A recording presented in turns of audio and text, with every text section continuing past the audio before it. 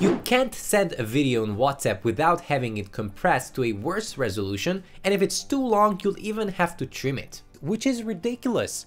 I happen to have a solution for this problem, so tag along.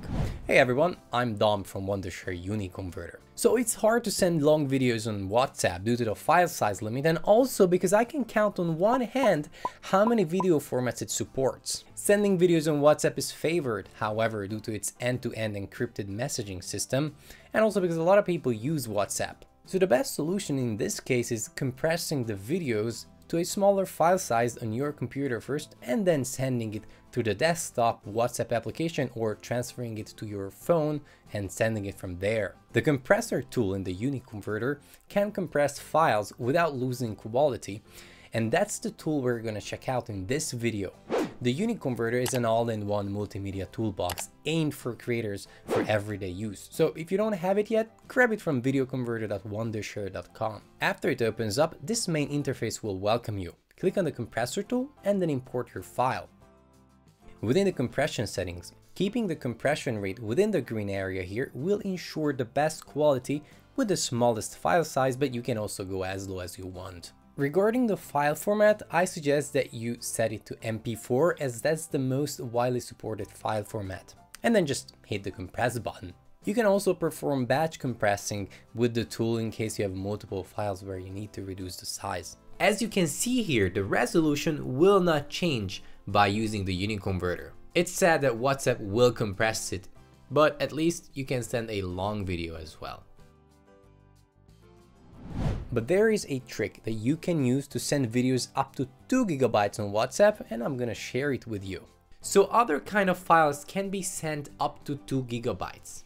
So if you take a video and compress it into a zip file, you'll be able to send it in the original size and quality. Of course, this way the video can't be played within the application and the recipient needs to download it and unzip it first, but it is a working technique nonetheless that can come very much in handy from time to time.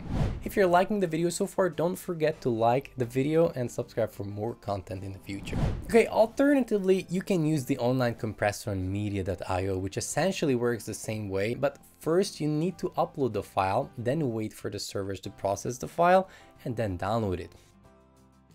Or as a plan C, you can use other transfer sites to send files such as WeTransfer, Google Drive, or MyAirBridge. However, through these methods, you can't enjoy WhatsApp's secure messaging system. I will talk about Google Drive nonetheless. So the great thing is that everybody that has a Google account with a Gmail email address, so literally pretty much everyone, has 15 gigabytes of free cloud storage that can be used to store and share files. So alternatively, you can use Google Drive as well to share or transfer video files to your friends. It's very simple, just go to Google Drive, upload your file, then click on share and copy the link and send it to your friends so they could watch it and download it. Or you can transfer ownership to them, which then they can accept and the files will be stored in their cloud storage and not in yours. How cool. So yeah, this is another way of sending large files. It's not through WhatsApp though, but it's working. You can send the link through WhatsApp, so it's kind of in between. Anyhow, now you have a few ways to send large files on WhatsApp, so if you found this video helpful, hit the like button and subscribe to the channel for more video making related tutorials. Thank you for watching and I'll see you in the next video.